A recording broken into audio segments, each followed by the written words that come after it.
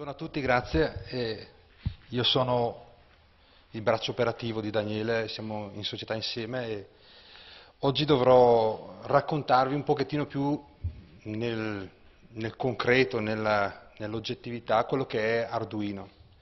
Mi chiamo Nicola Vezzoli e parlare di Arduino così in maniera teorica, abbiamo fatto un gioco di parole, lo consideriamo piuttosto arduo.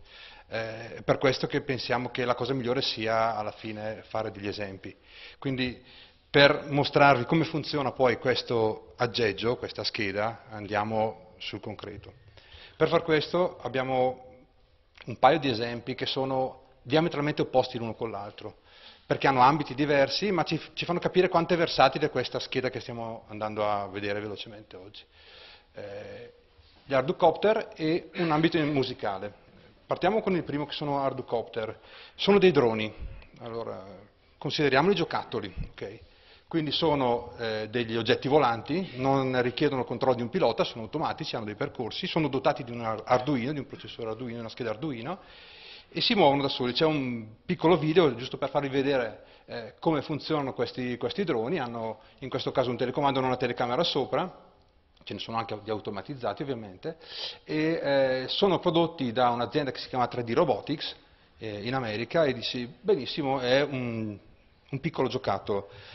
Se io vado a vedere quanto costa uno di questi piccoli giocattoli, partiamo dai 599 dollari e capiamo in fretta che un'azienda come 3D Robotics non faccia fatica a fatturare diversi milioni di dollari all'anno. Quindi usiamo Arduino, bene, usiamo una cosa che costa poco, semplice, ma la applichiamo in un campo che è effettivamente molto business. Eh, un campo invece totalmente differente è quello della musica. Questo ragazzo è un musicista, se si può sentire l'audio Sì? Scusate.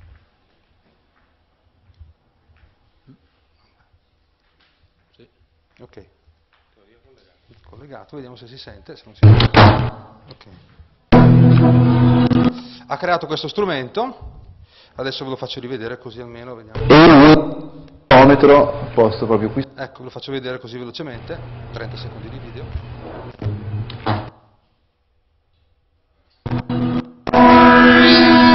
c'è Arduino e un accelerometro posto proprio qui sotto, un sensore di tocco, appunto questo funziona da, da tastiera senza tasti.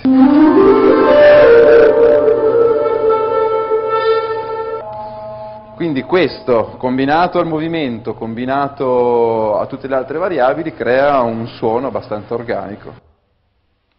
Questo musicista va in giro, fa concerti, e si è costruito questo strumento usando la stessa tecnologia, la stessa scheda che abbiamo visto prima. La stessa scheda è questo famoso Arduino, vediamolo un po' più da vicino. Poi abbiamo anche un, caso, un paio di casi concreti. Eh, all'aspetto di un pacchetto di sigarette ce ne sono diversi di eh, Arduino, questo è uno, questo è un altro tipo, questo è un altro tipo ancora. In realtà sono una famiglia di, di schede, ognuno con le sue peculiarità. Sono prodotte in Italia e sono vendute in realtà in tutto il mondo. Eh, ma perché Arduino è diventato così famoso e così tante persone lo conoscono, anche solo per sentito dire?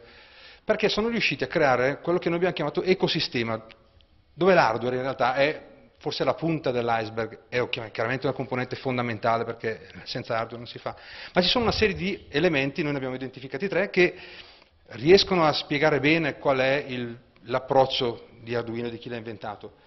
Eh, il primo è il software. Il software per programmare questo genere di scheda è una scheda che ha una sua memoria, quindi un suo, è un piccolo computer, diciamo così, e quindi deve essere programmato. Per essere programmato c'è un software che viene liberamente scaricato dal sito e molto simile al linguaggio C, quindi con delle nozioni anche base, e poi Daniele vi farà vedere un esempio pratico, eh, ci consente di programmare e fargli fare delle cose. Quindi io posso a questa scheda collegare dei sensori, degli attuatori, lo posso programmare, posso dirgli di fare delle cose, dalle note musicali a sollevare un oggetto tramite un, de, de, delle eliche.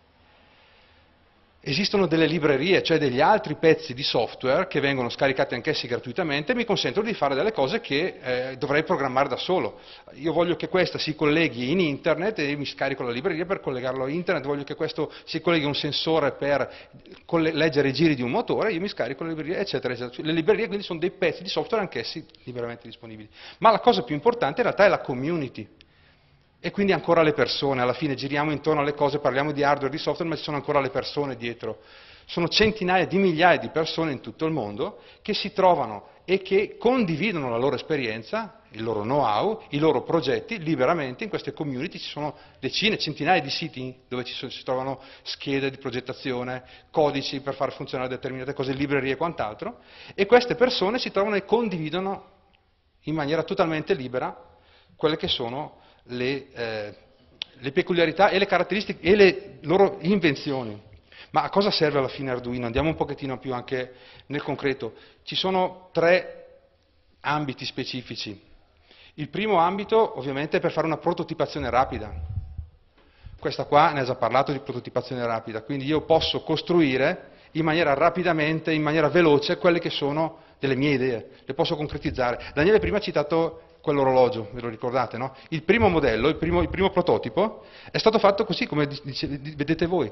C'è uno schermo di un vecchio cellulare Nokia, c'è dietro un Arduino, e hanno incominciato così a fare il primo prototipo. Funziona, non funziona, incominciamo a vedere, e poi presentiamo questa idea, e poi forse raccogliamo fondi. Nel caso dello smartwatch è funzionato, è andato molto bene, in altri casi un po' meno, ma con Arduino sono riusciti a accorciare notevolmente i tempi di progettazione, sviluppo e quant'altro.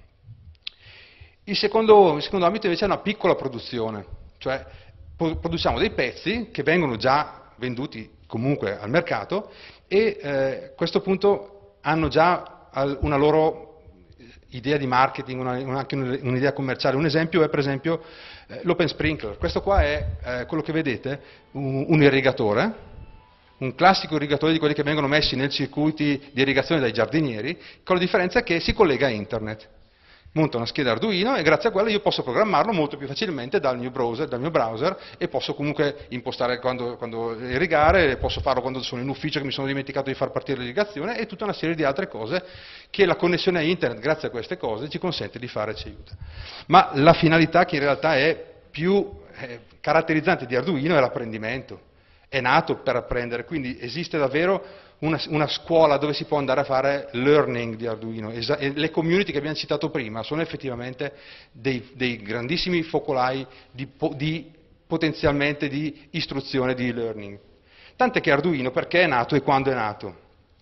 È nato da questa squadra di eh, bei signorotti. Il primo a destra è Massimo Banzi, che è quello che diciamo l'uomo emblema di Arduino. Loro eh, lavoravano all'Interaction Design di Ivrea, che è un istituto che è stato fondato nel 2001 da Olivetti e da Telecom Italia per fare innovazione. Eh, diciamo che è diciamo ancora là vecchio Olivetti che voleva in qualche modo rimettere in piedi quello che era tutta l'infrastruttura, tutto il know-how che girava intorno a Ivrea. Eh, a quel tempo Massimo Banzi era un docente di questo istituto e aveva bisogno di qualche cosa per i suoi studenti che fosse facilmente costruibile, potesse comunque aiutare molto gli studenti a imparare, sia dal punto di vista del, dell'hardware che dal punto di vista della programmazione. Quindi ha inventato questa prima scheda. Da lì, dal 2005, quindi non è che è passato poi così tanto tempo, le cose sono precipitate in positivo.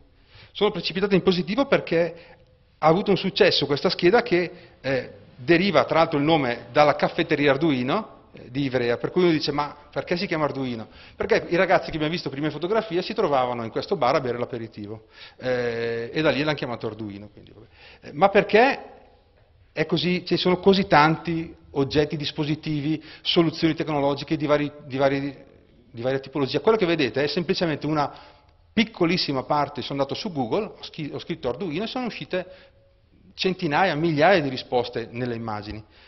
Perché secondo, secondo, voi è successo questa cosa così importante? Tante persone hanno inventato tante cose, tante schede, circuiti elettrici, soluzioni software, ma soltanto alcune hanno avuto una, un successo di questo genere in così poco tempo.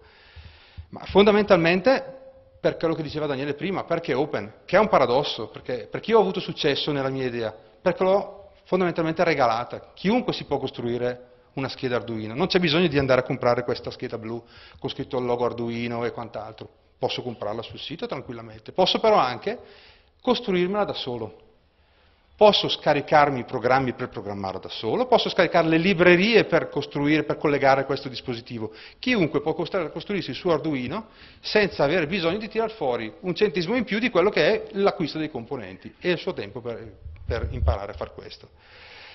Questo cosa vuol dire? Vuol dire che questa scheda, per esempio, che voi vedete, non ha dei diritti d'autore, non ha dei brevetti, ci sono delle, delle logiche commercialmente distanti anni luce da quello che siamo abituati noi a considerare. Io faccio una cosa, non la faccio vedere, la vendo chiusa con una scatola sigillata e guai a chi la apre, perché altrimenti mi rubano l'idea. No, questo è l'esatto opposto, però è un esempio pratico di come questa cosa può funzionare. Può, fu può funzionare perché di queste, scelte, di queste schede poi non ce n'è solo una, non c'è solo quella che io ho costruito e mi tengo stretta, chiusa nella mia scatola sigillata, ma ne esistono centinaia, migliaia di diversi tipi, vengono remixate, vengono ricostruite, vengono rimodellate, vengono eh, aperte, smontate, rimontate, riassemblate, rimesse in internet, il progetto, gli schemi elettrici, i software, per poi essere riutilizzati da tutti gli altri. E questo ha costruito una enorme, gigantesca community di persone che continuano a parlarne Guarda caso continua a parlare però di Arduino e il signor ben, Banzi continua a vendere queste schede perché ci sarà sempre chi desidera comprare una scheda Arduino e non costruirsela perché non gli interessa, perché non ha tempo, perché comunque il suo business è diverso, è concentrato sull'utilizzo. Però il fatto che ci sia questo ecosistema consente di sviluppare un'enorme quantità di soluzioni già pronte. Non devo inventare praticamente niente, le cose che noi andremo a vedere dopo all'atto pratico le abbiamo costruite in pochissimo tempo usando una scheda Arduino. Ma perché? Perché siamo andati a scaricarci le librerie, abbiamo scaricato il software per programmarlo, abbiamo collegato degli attuatori e vedrete che alcun, un gioco che abbiamo inventato in tre giorni lo potrete vedere tranquillamente.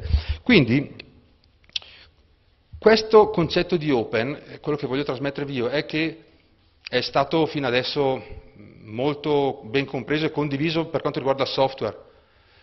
Ormai, ma non lo dico da adesso, ma da un po', è anche nell'hardware. Quindi il concetto di open hardware è una cosa consolidata e che in certi casi specifici funziona molto bene. Quindi open hardware cosa vuol dire? Che io invento qualche cosa, prendo uno schema elettrico, lo provo, funziona, quando sono riuscito a testarlo in maniera efficace lo metto su, su internet, oppure ancora non funziona, perché non funziona? Ragazzi, su internet c'è qualcuno che sa perché non riesco a far funzionare questa cosa? Perché questo attuatore non funziona? Perché questo sensore non si collega? Faccio una domanda e ottengo una risposta. Esistono centinaia di siti che danno questo genere di supporto, dove io posso fare delle domande e ottenere delle risposte. O posso dare soluzioni o posso io stesso dare risposte. Questa community è stato il, il principale successo di Arduino. Ci sono tantissime altre eh, oggetti, schede che vengono agganciate sopra. Anche questi sono degli esempi molto, molto, semplici. Si chiamano shield e vengono messi uno sull'altro per poi andare a fare, non so, dei droni, dei robottini, eh, dei sensori. Sono, se voi andate in internet, io adesso non sto a farvi perdere tempo e a annoiarvi, ma ci sono eh, centinaia di esempi di video. Dalla macchinetta che vola al giochino. Da questo punto di vista, il fatto che questo, quello che voglio trasmettervi è che questo concetto di open, che è spesso visto come sì, arriva il fricchettone, mette le cose online perché tanto comunque eh, non, non, vuole guadagnarci, no, è diventato una vera e propria idea di business. Noi nel nostro piccolissimo di eh, azienda locale, abbiamo Sintattica che è una società che si occupa di software insieme a Daniele, abbiamo un'idea open e ve la presenteremo oggi in anteprima è anteprima mondiale perché non lo sa nessuno, ma non è che è anteprima mondiale perché l'abbiamo tenuta nascosta, eh, grazie del, del, del, del complimento. Eh, la presentiamo e vi faremo vedere, cercando di farvi vedere il concetto, eh, che sposa al 100% il concetto di piattaforma open. La nostra idea sarebbe, eh, facciamo questo prototipo, lo comunichiamo, mettiamo online la nostra soluzione tecnologica, la nostra soluzione software e chiunque potrà poi usarla contribuire a migliorarla e darci il suo parere. Proviamo, è una scommessa che noi facciamo, siamo sempre stati abituati a chiuderci, a fare i nostri software belli chiusi, confezionati, non far vedere a niente a nessuno, in questo caso ci proviamo. Quindi eh, io credo che sia il momento di eh, una bella dimostrazione live che vi fa il nostro Daniele, dove prenderà queste schede che farà funzionare magicamente e eh, vi ringrazio per l'attenzione.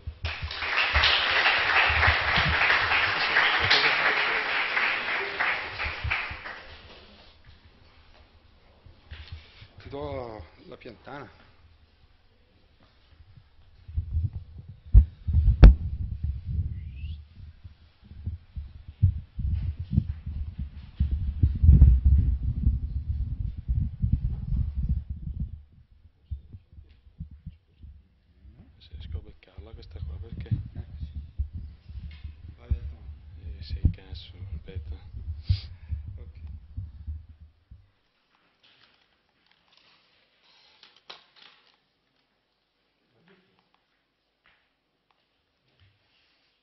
Puoi partire da, Sì, parti da dove sai, no?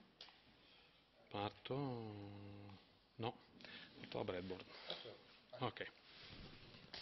Allora. Ecco, quando dicevamo che Arduino è una cosa che ci si può costruire senza comprarlo, ehm, ve lo vogliamo provare a dimostrare praticamente, questa eh, ce la siamo costruita noi. Eh, innanzitutto, questa basetta si chiama breadboard, ha eh, la caratteristica che si può utilizzare per assemblare dei semplici eh, circuiti elettronici, innanzitutto senza saldare, senza usare il saldatore, e poi eh, senza quindi eh, bloccare i componenti su un circuito stampato una volta per tutte, ovvero se mi stufo li smonto e li riutilizzo di nuovo. Eh, questo credo che sia il minimo esempio possibile di Arduino che si può implementare. Allora, questo è il microprocessore, è il cuore, è il cervello di Arduino. E qui a fianco c'è un quarzo, è questo cromato, che è quello che dà il ritmo, i, i tempi, qua sopra magari, ah, grazie, Eh, è quello che dà il clock si dice al, al microprocessore. Facciamo un piccolo confronto, Eh, questa unità lavora a 16 MHz, un computer oggi lavora senza problemi a 1,6 GHz, parliamo di 100 volte di più. Quindi questo è 100 volte meno potente del processore della CPU di un qualunque computer di oggi, almeno 100 volte meno potente. Nonostante tutto è lo stesso divertente. Eh, abbiamo finito, non c'è molto altro. Qui ci sono una manciata di componenti che servono semplicemente a interfacciarsi con questo connettore che a noi serve. Ho finito. Interfaccia di programmazione, bello. C'è in giro la seriale? No? Vabbè, adesso cerchiamo di recuperarla. Trovata? Perfetto, grazie. Voilà. Scusate, allora. Questo, quest'altro aggeggio serve solo ed esclusivamente a collegare il nostro Arduino opla, al computer, scusate. Voilà, pronti. A collegare il nostro Arduino al computer. Eh, ed è supportato da questi componenti. Questo è un pulsante di reset, quando lo premo fa la stessa cosa che fa il reset su un PC, lo, lo riavvia e basta. Ho aggiunto un LED per far vedere qualcosa, perché se voglio mostrarvi un esempio di programma, questo, beh, penso che meno di così sia veramente difficile. Questo è un programma che eh, fa lampeggiare questo LED. Eh, tutto qua. Io qui definisco la variabile LED e gli dico è attaccata al connettore numero 13 del nostro Arduino. Dico che quel connettore deve essere un'uscita, cioè deve pilotare un LED, questo in una funzione che si chiama setup, che viene eseguita una volta sola alla partenza. Nella funzione invece che si chiama loop, che continua ad essere eseguita, io dico metti alto, cioè accendi il LED, aspetta 200 millisecondi, un quinto di secondo, rimettilo basso, aspetta, ricomincia e così via. Vediamo se funziona e cosa succede. Questo lo compila, lo carica,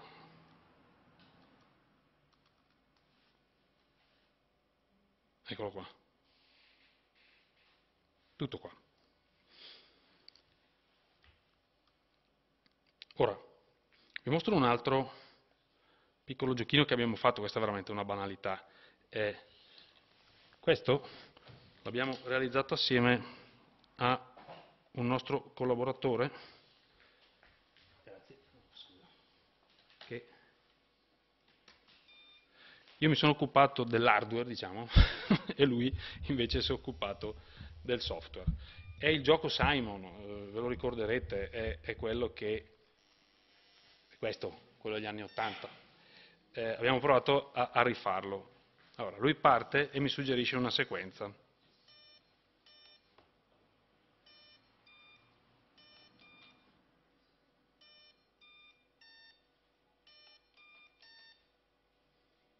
e se sbaglio, chiaramente, mi manda a quel paese. Tutto qua. Vi faccio vedere un altro esempio ancora, eh, che riprendo da quello che vi ha detto prima Nicola. Ah, vi ha fatto vedere l'open sprinkler no? come un esempio di piccola tiratura di prodotti. Eh, io ne ho comprato uno eh, e l'ho sostituito al mio irrigatore. È divertente perché eh, perché l'ha detto Nicola, lo si può controllare via internet.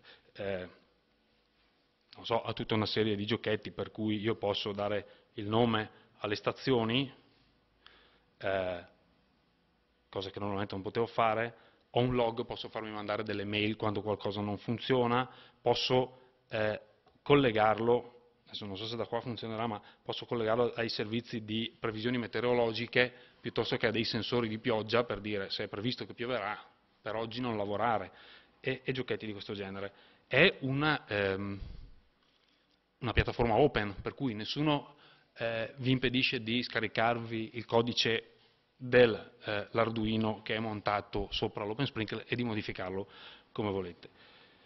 Comunque ha, eh, diciamo, è un bel giocattolo, tutto qua, eh, ha ehm, un grosso limite a nostro parere, cioè che L'interfaccia web è simpatica, però esporre l'interfaccia web dall'esterno della DSL di casa vostra a tutto il mondo per la classica fregnaccia, accendo e spengo l'irrigatore quando sono in vacanza, quindi dallo smartphone piuttosto che, sì si può fare, però è complicato.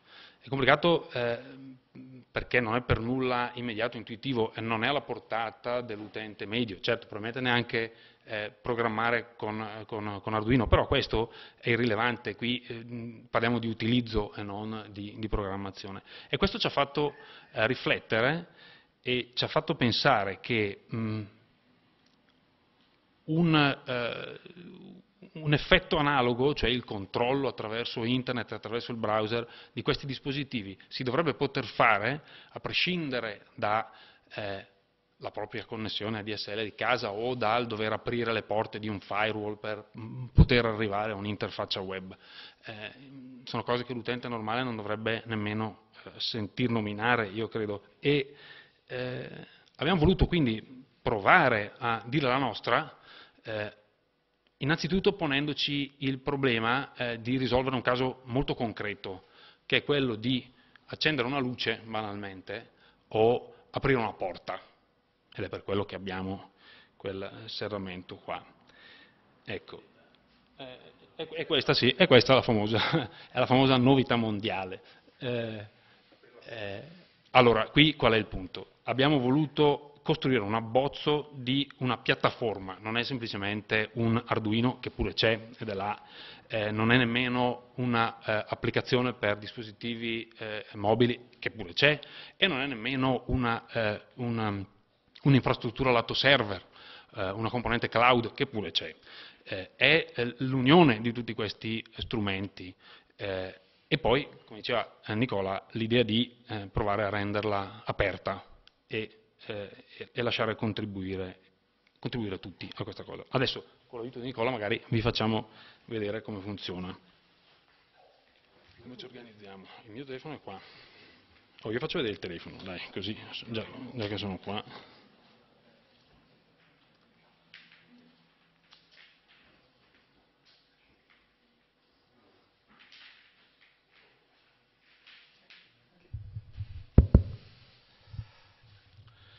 Si presuppone che questa non sia una cosa aperta a tutti, evidentemente. Mm, in questa fase, nella nostra demo, non ci sono eh, pretese di sicurezza, eh, però comunque un accesso eh, va fatto.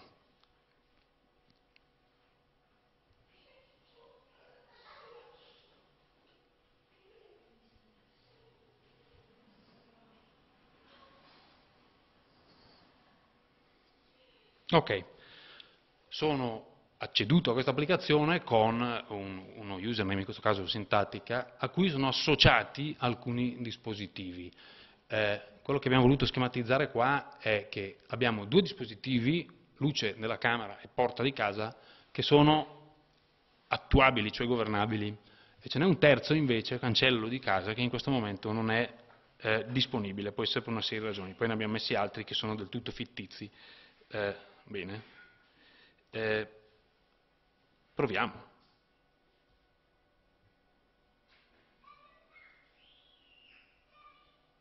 Bello. È l'effetto, è l'effetto demo.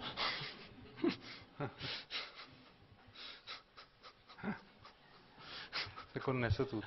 Fantastico. Eh? No, spero di no.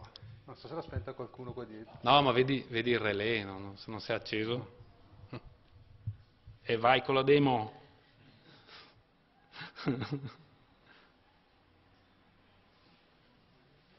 ok.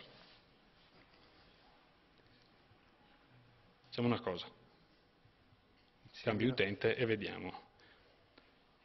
Altrimenti ve la raccontiamo. Minuscolo.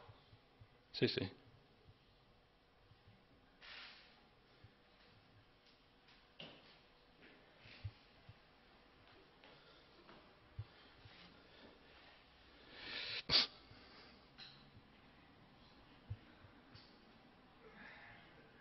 Non ne vuole sapere.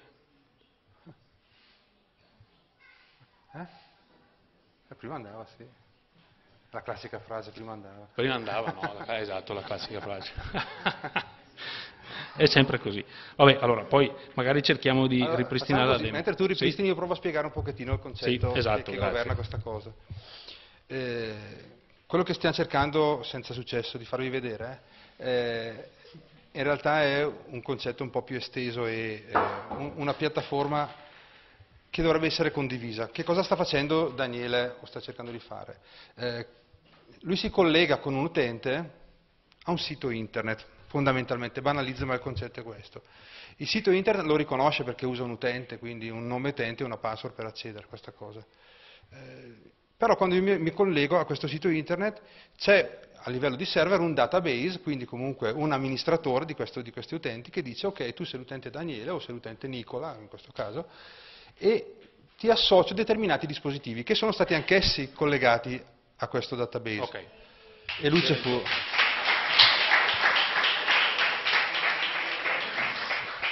Eh, adesso, adesso, eh, adesso mi apri anche la porta però, eh? Adesso vediamo. Ok, non l'ho fatto vedere che prima era chiusa, ma adesso la chiudiamo. Allora, porta chiusa, schiaccia l'interruttore porta a casa, mi fa entrare per favore. La porta si Però, però non vale, cioè, cioè, se me lo chiedi, se mi telefoni per aprire la porta non vale, non è 2.0 Non è questo. fut- eh. E spegne la luce perché fa un caldo bestiale. Ok, perfetto. ok. Quindi a livello di eh, logica, adesso non entriamo nei dettagli tecnici perché sennò è inutile. cioè, che cosa c'è? C'è un grosso, un, grosso database che dice, ok, l'utente Daniele ha associato questi dispositivi. Questi dispositivi quindi lui è abilitato a comandarli, non solo abilitato, se una luce l'accende e la spegne, se una porta la apre basta, se è una basculante la apre, eccetera, eccetera. Eh, questo poi è anche unito a un altro concetto, il concetto di prossimità. Io sono in vacanza in Toscana, non posso accendere la luce di casa. Dico, dove sono col mio smartphone? Ah, sono a 10 metri, 20 metri, 50 metri da casa mia, posso aprire la basculante. Oppure controllo degli accessi. Io do questo accesso al- alla porta del mio ufficio e i miei dipendenti possono aprire la porta dalle 8 di mattina fino alle 8 di sera. Dalle 8 di sera non può più entrare nessuno, o la signora delle pulizie può entrare dalle 8 di sera in avanti. È tutto gestito da un grosso database che gestisce queste cose. E qual è il concetto che noi vorremmo spiegare far capire? Che eh, al contrario dell'open sprinkler, che richiede una conoscenza per aprire internet, avere una connessione internet, ADSL, devo aprire la porta e quant'altro, no. I dispositivi che noi abbiamo in questo momento eh, inventato e collegato sono due Arduino che sono collegati alla rete e quindi vanno anch'essi su un indirizzo, si collegano anche loro a quel sito internet che noi abbiamo prototipato. E poi è questo grande amministratore, questo eh, grande fratello che dice ok perfetto, eh, lui può aprire questa porta, lui no, lui può aprire, accendere la luce e quant'altro. Fate un esempio molto semplice. Eh, in un condominio c'è il cancello elettrico, noi abbiamo un ufficio e c'è un cancello elettrico, quindi ci sono eh, 120 condomini, non so quanti sono, eh, che devono accedere a questo cancello elettrico. Ci sono 120 telecomandi e eh, quindi cominciamo a dire, eh, amministratore, io sono un nuovo condomino, mi puoi abilitare la mia applicazione per aprire questo cancello? Oppure io stesso ho una basculante che è dotata dello stesso sistema, quindi io accedo al mio cancello, arrivo giù a la basculante che non può aprire nessun altro. Quindi ci sono comunque diversi utenti che si collegano con diversi livelli di integrazione, quindi c'è l'amministratore del condominio che può decidere chi aprirà la basculante, io invece che sono il, cancello, che sono proprietario della basculante, posso aprire la mia basculante e non lo dico all'amministratore del condominio. Quindi c'è anche un, un, discorso di eh, un back-end, se possiamo farlo vedere poi Daniele, che è, noi chiamiamo back-end, è questa pagina di amministratore che è una, in maniera molto eh, abbozzata in questo momento, è un po' come eh, il, lo smartphone che abbiamo visto prima, no? Le, lo smartphone che abbiamo visto prima. Qui non si vede lo schermo del Nokia, però poco ci manca. Abbiamo creato una serie di utenti, ci sono una serie di devices che sono collegati, quindi la luce, il cancello, la porta di casa, eccetera, eccetera. E poi quando io entro in un utente gli dico, ok, eh, l'utente sintattica può controllare la basculante, il cancello e quant'altro, eccetera, eccetera, eccetera. Se io questi, entrate per favore nell'utente Nicola, tolgo tutti i miei device, quindi li, li sgancio tutti, salvo, se io provo a fare di nuovo il login come abbiamo fatto prima con l'utente Nicola, tra l'altro Nicola è uno dei ragazzi che lavora con noi, che saluto, che dovrebbe essere comunque qua, eh, se io provo di nuovo a loggarmi con i dati, non ho nessun dispositivo associato. Quindi, in tempo reale, tra l'altro. In tempo reale, sì, sì. Eh, se li riassocio, ovviamente li posso rivedere tutti, se posso associarne soltanto due, basculante, quello che sia, e in più che cosa ho, come dicevamo prima, anche a livello di mappa sul mio dispositivo, se io vado a rivedere la mappa posso ricaricare la pagina, tu mi fai vedere? Ci arriva da solo, però come ha fatto prima, però sì? facciamo così, mappa. Non so se si vede, qua ci saranno anche i dispositivi che noi abbiamo geolocalizzato, per fare un esempio in due punti diversi di Palazzolo, anche se sono qui, eh, vado a geolocalizzarli, vai sulla mappa per favore, facciamo vedere che ci sono due marcatori sulla, che fanno vedere, adesso non so se si riescono a vedere perché l'inquadratura è un po' non è, non è il massimo, si, comunque si dovrebbero vedere due marcatori e addirittura lo stato che questi marcatori hanno. Cioè... Ho paura che questi però non siano geolocalizzati, erano gli altri. Saranno gli altri. Facciamo sì. vedere gli altri. Fai vedere gli altri. Prima c'erano. Quindi che cosa vuol dire? Che io dico, ok, eh, mi sto avvicinando al cancello di casa, il mio marcatore da grigio diventa verde perché posso accedere, altrimenti non posso aprirlo. Eh, oppure in questo momento la luce di casa è accesa perché qualcun altro l'ha accesa e quindi anche questo diventa verde. Eh, la geolocalizzazione serve per monitorare ma anche per avere appunto il discorso della prossimità, più mi avvicino e più è probabile che io possa usare questa cosa, o meglio, più mi allontano e io non vorrei che fosse gestito. Ecco i marcatori adesso qui si intravedono, quello grigio non è eh, eh, raggiungibile perché è disattivato o spento, quell'altro invece se poi ci clicco sopra vado a vedere luce camera e l'accendo e la luce si accende. Ecco, una mm, particolarità è, è, banale, però fino a un certo punto. Eh, luce, il pulsante è diventato verde non perché l'ho premuto, ma perché l'Arduino ha ricevuto il comando e ha rimandato indietro un feedback eh, all'applicazione dicendo io la luce l'ho accesa. Chiaro che la cosa può interrompersi a seconda del livello di sicurezza in entrambi i fronti, però eh, in questo modo se si accende si ha la sostanziale certezza che si è accesa. Ecco, questo concetto che io ho fatto fatica a capire è, è molto eh, logico se ci penso. Non è un pulsante che si accende perché lo schiaccio.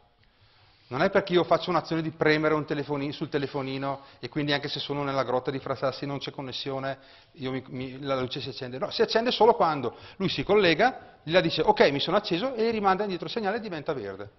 Quindi eh, è un concetto alla fine che è molto importante da capire perché gli stati che noi vediamo non sono derivanti dall'azione che io compio sul telefono, ma da quello che è effettivamente la mia situazione nel, nel, nei dispositivi. Proviamo dalla porta. Come? Proviamo dalla porta. Proviamo con la porta, cosa succede? Chiusa. Allora, quella, Quella porta eh, di per sé, vabbè, non è nemmeno una porta, è un serramento evidentemente che usiamo a scopi dimostrativi, ma ci è stata fornita da eh, dei ragazzi da una start-up di Bergamo e mi dite la start-up delle porte? No, la start-up delle serrature e non sto scherzando. La serratura che è montata lì dentro è una cosa assolutamente innovativa, è eh, una serratura che ha la peculiarità di eh, montare tutta la parte elettronica e meccanica, in questo momento ovviamente l'elettronica è un prototipo ed è collegata al nostro, eh, ma eh, all'interno del montante e non della, eh, come si dice, de, de, del serramento vero e proprio. E infatti lì è di vetro, non si sarebbe potuto fare diversamente. Apri, apri per favore. Ok, ora eh, questo consente eh, di fare una cosa che prima era piuttosto difficile fare, cioè montare serrature elettriche su porte dove eh, di fatto raggiungere con dei fili elettrici o comunque con un'alimentazione elettrica la, la, parte della maniglia era sostanzialmente impossibile. Il meccanismo per fare questa cosa è brevettato, eh, questi stanno cercando ovviamente di eh, trasformare la loro idea in, una, in un'azienda, noi eh, abbiamo suggerito che potesse esserci una partnership con il nostro tipo di, eh, di, di tecnologia e, e, qui siamo con questa demo. Um, un, eh, un, altro aspetto che fa parte del loro, del loro brevetto è che il, quando questa serratura si chiude, è chiusa per davvero, cioè eh, le ganasce eh, sono quelle della, non semplicemente della molla, ma della, della chiave vera e propria.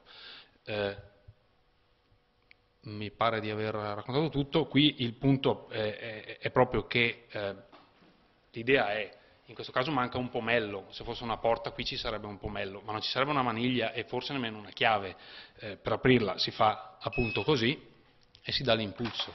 Se entro tre secondi mi pare si apre a questo punto la, eh, la porta, lo si può fare, se si aspetta troppo lei si richiude e infatti il meccanismo si è già richiuso, Esatto, prova a schiacciare adesso. A questo punto è... Ok, si è richiusa. E la porta è di nuovo a prova di ladro. Esatto. E ovviamente qui c'è il nostro amico Arduino. Eccolo. Arduino in questo caso è collegato a una piccola scheda con due relè eh, che contiene dei LED, eccolo là, quando io lavoro, e sulla luce ah, sì e sulla porta. Ok.